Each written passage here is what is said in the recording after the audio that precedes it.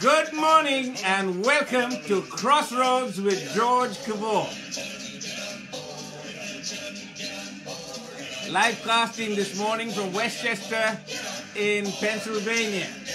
I'm in the home of my cousin Sajjan Abraham or Matthew Abraham and his wife Carmelina. And I came here last evening to have a wonderful time of fellowship and a great dinner with other members of the family.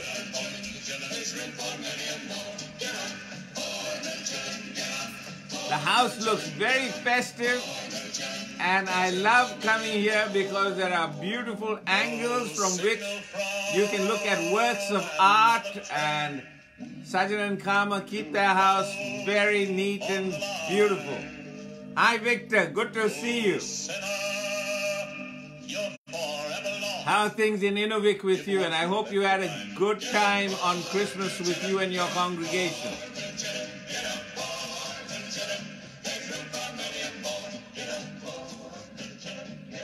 Get on board, folks. The fare is cheap, and all can go. The rich and poor. So good to welcome each and every one of you to Crossroads. And as we come to Boxing Day, a day to just sit back and relax, enjoy time with family and friends, eat the leftovers, clear up the mess.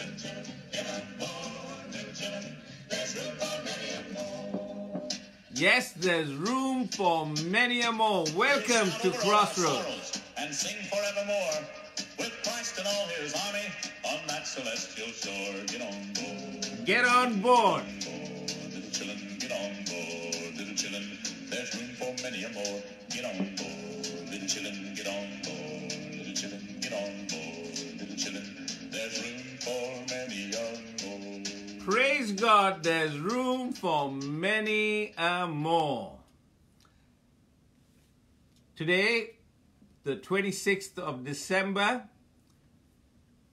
called Boxing Day in Britain and in Europe, the day when the Lord of the Manor would give gifts to his staff and those who worked on his estate. And so all the leftovers and little gifts would be given to the servants of the household. But it was also a day when families could just take a deep breath and relax and sit and chat without all the activities of Christmas. As we come into the Lord's presence this morning, remember from the rising of the sun to the going down of the same, the Lord's name is to be praised. Amen. The Lord's name is to be praised. Why? Because from the rising of the sun to its going down, the Lord's is glorified by his creation. The psalmist says, Your faithfulness is as sure as the sunrise. Your faithfulness is as sure as the sunrise. Chandra Mohan, nice to have you with us. And so this morning, even as we come together, I want us to thank God for all that He has been doing from the time of creation. As I look at this whole season of Advent and the season of Christmas, I want you to think of the following P's. The first P stands for promise. God has promised humankind from the fall of Adam and Eve in Genesis chapter 3 that he will find them a deliverer and that he will rescue his people from their failures and their folly. Then we go on to the destruction of Sodom and uh, Gomorrah. We uh, have the flood and Noah being given the promise of the rainbow and the covenant with Noah. And then with Adam and uh, then with Abraham, Isaac and Jacob. I always delight in telling my friends from Europe and in North America that Abraham was an Iraqi. He came from Iraq, from Ur of the Chaldees. And so we must show respect to the people of Abraham's tribe from Iraq. And um, God made a promise to Abraham that if Abraham responded to the call of God, that he would be blessed. And the deal was you obey, you honor, you love, and you live loyally to the Lord, and the Lord will protect, preserve, promote, and provide for all your needs. Hi, David, and hi, Irvin. And so this morning, this Christmas Boxing Day, I want you to remember the P, the P of promise, the promise to David and to his line. Then, of course, the next P is the prophetic. God has been revealing himself, speaking to his children, and God delights in revealing his purposes. God delights in making known his plans and his purposes, and so he communicates through his prophets. The prophetic ministry in the church is a neglected ministry, and the prophetic is um, a dual fold ministry. The first dimension of the prophetic is foretelling. God reveals the unknown. He talks to us and he prepares us by teaching us the things that are yet to happen foretelling. Quite different from fortune tellers and palm readers and um, spirit mediums. That's what we are told not to go to, but to wait upon God and to receive His word. And God has chosen people with this unique gift of being sensitive to the voice of God so that they receive the prophetic, the prophetic word of God. The responsibility of a prophet is to simply deliver God's word verbatim to the recipient. The prophet does not add or detract from anything that he or she has heard from the Lord. And so there is a responsibility to speak the truth, to present God's truth about the unfolding future. But the second dimension of the prophetic is forthtelling. F O R T H. Hi, Sandy. And so, forthtelling means speaking the truth in love, but presenting God's truth to a particular context. So, let me give you a contemporary context. The world in which we live is a very divided world.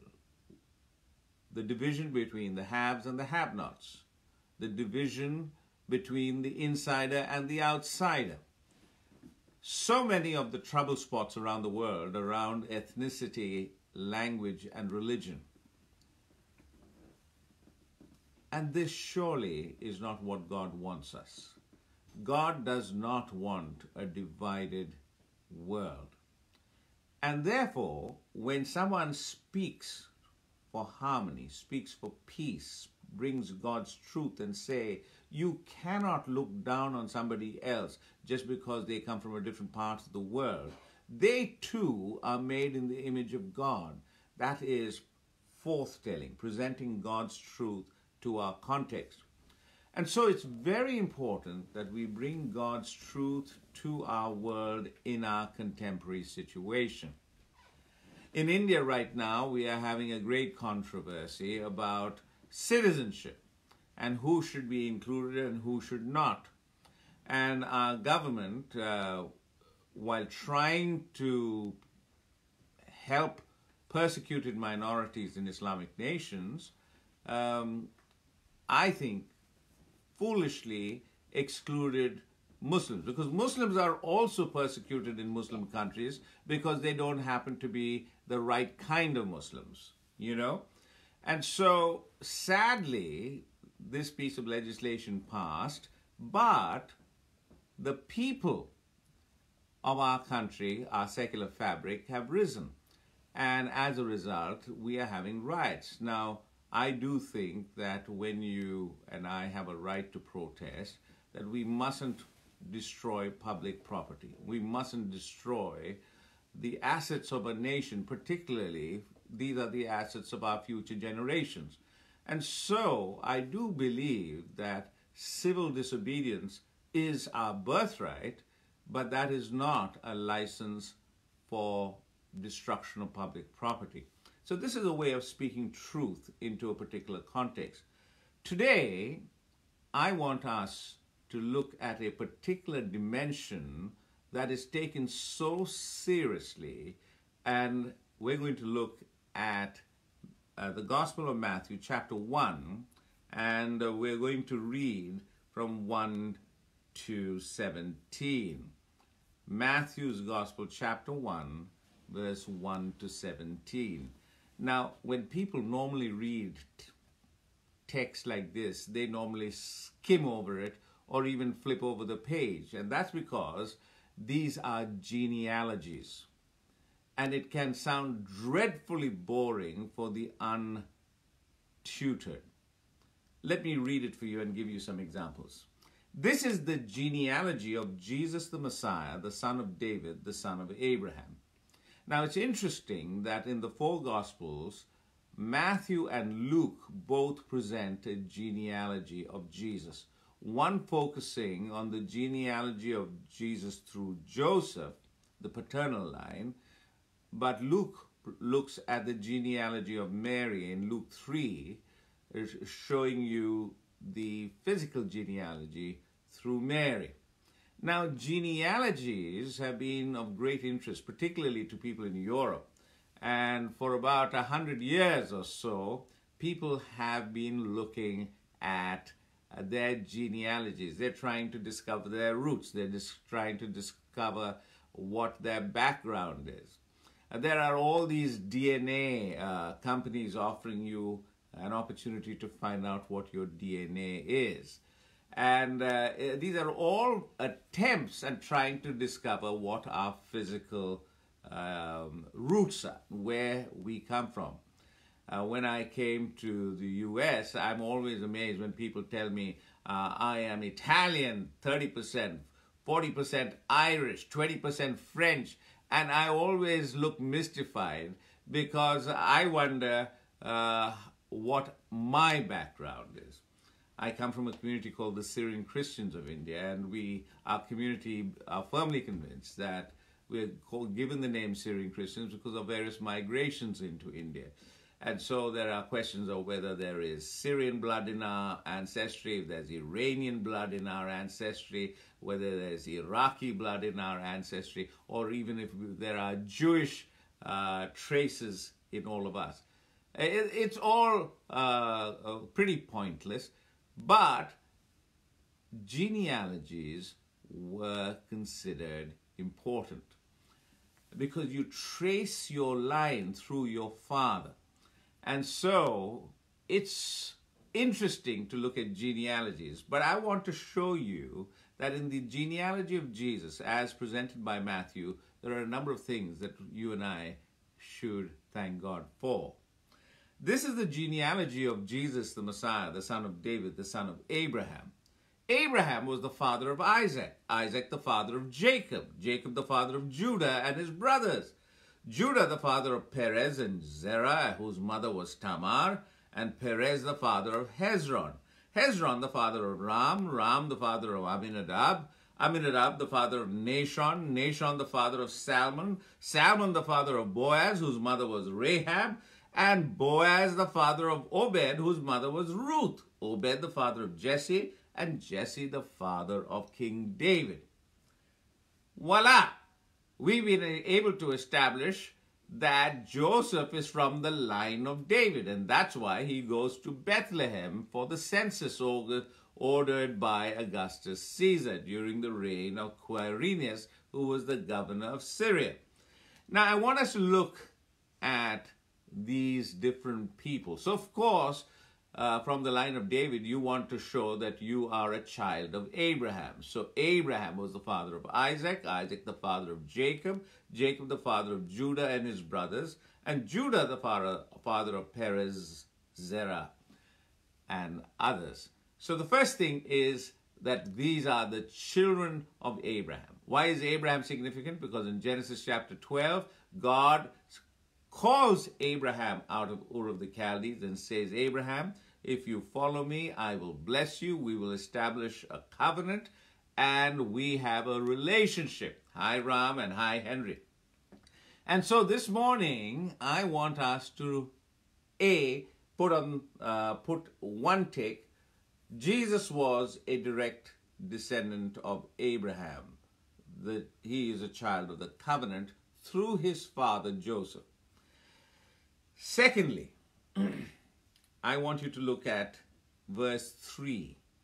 Judah, the father of Perez, and Zerah, whose mother was Tamar.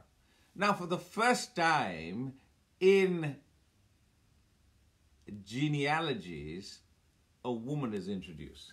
Isn't that interesting? How come every one of us who's born has been born of a woman, but their names are not included in the genealogies? We only trace the genealogies from our fathers. Hi, Rajiv. And so, hi, Bachan Singh Bandari. And so, I want you to first notice that in the genealogy of Jesus, a woman's name is mentioned. Her name is Tamar. And Tamar is um, a significant person. Uh, Tamar uh, was raped by her by her father, and her brother.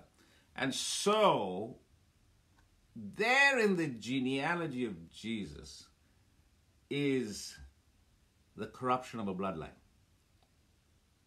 She was the victim, she was innocent, but she had been raped. And that is recognized in the bloodline of Jesus. Perez, the father of Hezron, Hezron, the father of Ram, Ram, the father of Aminadab, Aminadab, the father of Nahshon, Nahshon, the father of Salmon, Salmon, the father of Boaz, whose mother was Rahab. Now, what do we know about Rahab? We know that Rahab was a prostitute and that Rahab was living uh, in uh, the city. And when Joshua sent his spies, the spies came in to investigate and to find out about the city before the, Israelite army came to conquer it. And it was Rahab the prostitute who let the spies in and who arranged for them to escape. Isn't it fascinating that Rahab the prostitute is also mentioned in the bloodlines of Jesus? I'm going to make some points out of all this, even as we look at the bloodlines and the genealogy of Jesus. Rahab was a Gentile, she wasn't a Jew. And Rahab, being a prostitute, was considered a sinner, even according to Jewish religious traditions. And there is Rahab the Gentile prostitute who is very much involved in the birth uh, of our Lord Jesus through the bloodline. And then we hear of Ruth, who was the father, who is the mother of Boaz, the father of Obed. Obed, the father of Jesse. Who is Jesse? Jesse is the father of King David. So you can see through the bloodlines a lot of corruption, a lot of imperfections, and tragically a lot of sin. One would have thought that the bloodline of Jesus would have been pure, holy, untainted by any form or shape. And yet, we see in his bloodline some famous failures, some famous historic personages of sinners who were redeemed by God and who were included in the promise of Abraham. Suffice it to say that God can redeem even the worst culprit. So, all these theories of purity of bloodline go into the bin because the bloodline of Jesus had been corrupted with Gentile blood and with the blood of, of a prostitute. And if God can redeem all that in the bloodlines of Jesus, how much more we must be merciful and generous when we talk about others. You know, we are so judgmental as a community. We are so judgmental. We love to gossip about others. This is one of the greatest failures of close knit communities that we have nothing better to do than gossip, slander, malign, and falsely accuse. My brothers and sisters, I'm speaking truth into our community and into the world. This is wrong, and this is not something that you should be proud of. Every time you want to speak about someone, ask the question is it factually true? Is it kind? Is it something that I could stand up and tell the person to their face in love? If you can't say, do tick those three boxes, then I would suggest that you keep quiet and don't perpetuate falsehood, slander, and gossip. We are people of truth, and we are people who are committed to one another, and we're people who love each other. So, my brothers and sisters, the bloodlines of Jesus, the first 14 generations from Abraham to Jesus, shows us these interesting fallacies. I could read the next 14 and the next 14 till we come to Jesus. There's a lot there that just amplifies and reinforces the truth that I've said that there's a lot of imperfections, there's a lot of weaknesses. But in those first 14 generations, I was able to point out to you Tamar, Rahab, and Ruth, the Moabitess. So, my brothers and sisters, let us recognize that Jesus redeems all these imperfections. And that is why the angels sing in unison on that first Christmas carol Glory to God in the highest. It's all about God. It's got nothing to do with you or with me. It's all about God. Glory to God in the highest. And peace on earth. Finally, this fractured, divided society has the potential and the possibility of, in Christ Jesus, to be reconciled and to be united. Why? Because for today, a Savior of the world has been born. See, most of us don't feel the need of a savior. Why? Because we are independent, we're autonomous, we think that we uh, can cope and we can solve all of our problems. The whole point of the Jewish law was to show you that you are imperfect, you are not capable of fulfilling the law, and that you and I need help. The law, with its perfection, shows our imperfections. It's like a mirror. It's showing you that you're physically and spiritually and mentally incapable of fulfilling the law. In other words, the whole world is living in sin. And that we all need redemption. We all need help. And that's why we confess our sins to God not to human beings. We confess our sins to God. And we seek His grace and His pardon. I have no time for religion. I have no time for the institutional church.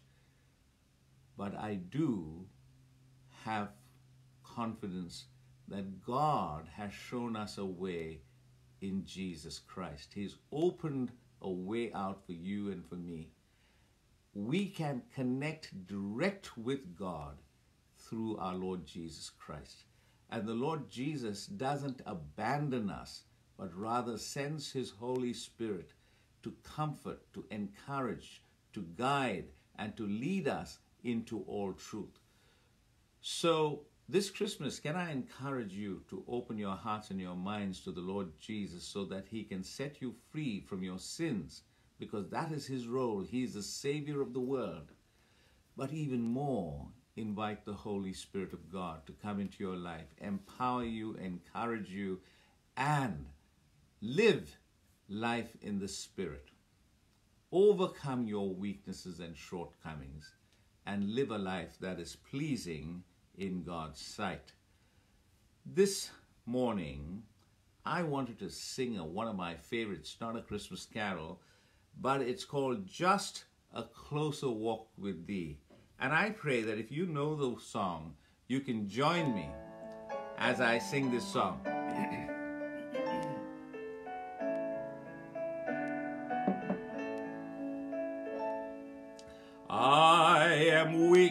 thou art strong.